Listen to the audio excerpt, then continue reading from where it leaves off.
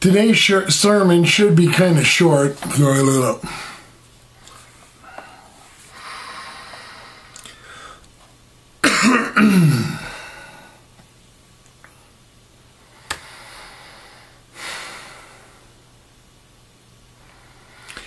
Today's sermon should be kind of short.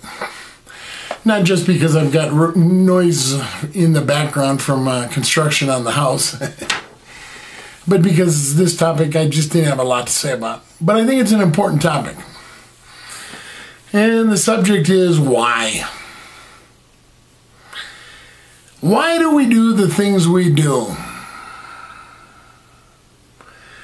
On Facebook, I like to ask questions that some, sometimes people think they're rather ridiculous. I agree. But the point of those questions is to make people think outside of the outside of normal, whatever that is.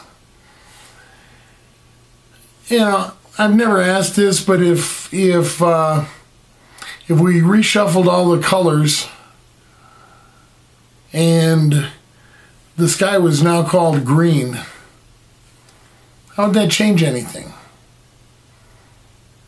I mean, those are just words, right? They can mean whatever we want them to mean. So, if we shuffle all the colors, what color would we call this guy? I don't know. There's not, not necessarily a right or wrong answer to a lot of the questions I ask, but I'm trying to get people to think. So, here, I want you to think. Do you ever wonder why you do some of the things you do? Or why you do them the way you do them? There's the well told story of the little girl who asked her mommy, Mommy, why do you cut the ends off the roast before you put it in the oven? And her mom says, I don't know, let's call your, your grandmother. So they call grandma, and grandma says, Well, I don't know, let's call great grandma. So they call great grandma, and she says, Well, that's because my roasting pan wasn't big enough for a full roast. and from generation to generation, they did it without understanding why. So I'm here to ask you if you know why you do things the way you do them. Or just think about it. Why do you do it the way you do it? I'm not here to tell you what's right and wrong. I, am just not trying to say you're doing it wrong if you're cutting the ends off the roast. You know, maybe great grandma cut the ends of the roast off because her pan was too small, but maybe the end result was maybe the roast was better. I don't know. Depends on how they fixed it, I suppose. So, on Facebook, here's a question I did recently ask. When you get to a gas pump, do you stop at an even dollar amount or not? And why? Simple question. When you're pumping gas, do you stop at an even dollar amount or not? And why? Now, some said they just let it stop wherever. Personally, that's me. You know, I read something that said that's the best way to do it. You don't overfill and blah, blah, blah. Listen, it's on a. I use, usually use a piece of plastic to pay for it. What do I care if it's an even dollar amount? Now, the folks that put every last drop in that they can get, they justify it by saying, well, I don't want to stop for gas more often than I have to. You know, what do they put in? A half gallon more than I do? Probably not going to make a big difference in life. You know what I mean? But to them, maybe it does make a difference. I don't know. It depends on how far they drive, where they drive, and so forth. Maybe some of it's because that's the way their parents did it. Why do they do it? Why do I do it the way I do? Didn't always. See, I used to be an even dollar amount person.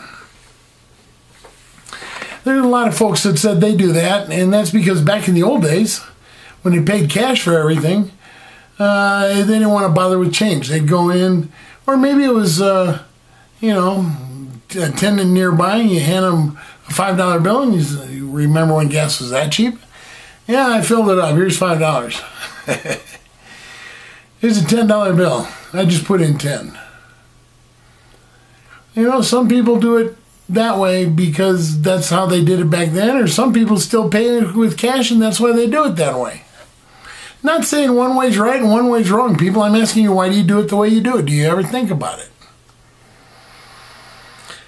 Obviously, we all do things differently now than once upon a time, a long time ago. Whatever, whatever the thing is. Why do we do what we do today when we did it different back then?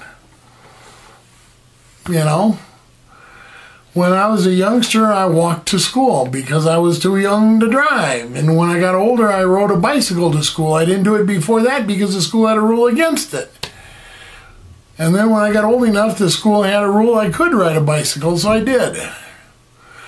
And then when I got old enough, the school I had a rule I could drive, so I did. Things change. Why? Why do you change what you do? Think about it. Some of those changes are good, but maybe some of them are bad. And maybe we need to think about that. Let's look at it from a slightly different perspective as I wrap this up. When I ask, why do you do things the way you do them? Perhaps I should be asking, why are you the way you are? Why are you the way you are? And are you happy with that? Now, I really doubt there's any of us that is totally happy with everything about the way we are. We all think we have some imperfections. Even the people that lie and say, I'm perfect. They always, well, most of them say it with a smile. The rest are total idiots, so what do we care? Please think about why you do things and why you do them the way you do them, why you are the way you are. If you don't like what you do or the way you do it, or if you don't like the way you are, change. All right, that's the intro. Now let's get to the spiritual part, okay?